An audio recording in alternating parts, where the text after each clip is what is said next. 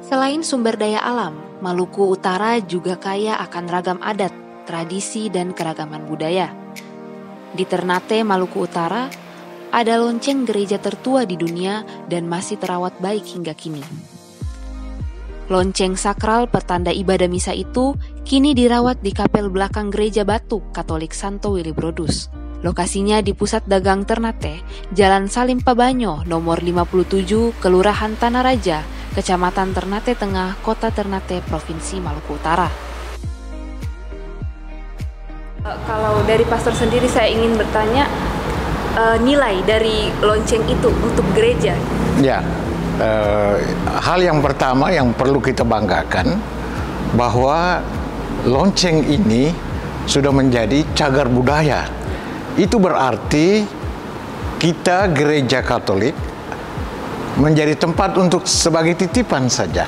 Tetapi ini menjadi milik masyarakat Maluku Utara khususnya di kota Ternate dan nilainya sangat luar biasa. Mengapa saya katakan demikian, Iga? Ya. Karena Lonceng ini hanya dua yang ada di dunia.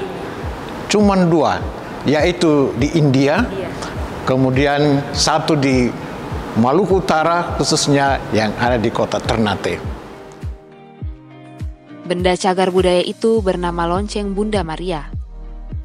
Di bagian bawah lonceng terpatri nama penempanya, Pedro Vias Bocaro pada tahun 1603. Lonceng ditempah di Portugis. Diameternya sekitar 120 cm atau seukuran nampan sedang. Beratnya sekitar 1600 kg. Lonceng terbuat dari tembaga murni, didatangkan dengan kapal dagang bermuatan ilmuwan pengkhutbah dari Portugis Eropa ke Ternate sekitar 419 tahun silam.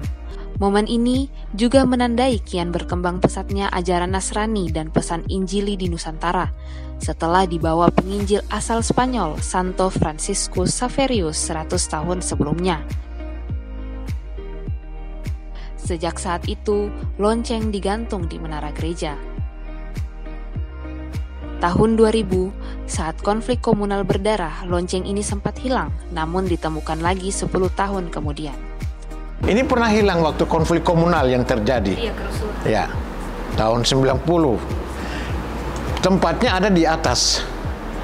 Tapi tiba-tiba menghilang tanpa jejak. Dan itu ditemukan di Jakarta. Setelah hampir 400 tahun, warga Ternate selalu mendengar bunyi lonceng Bunda Maria pertanda misa. Gereja batu dan lonceng Bunda Maria ini jadi objek wisatawan Eropa dan domestik.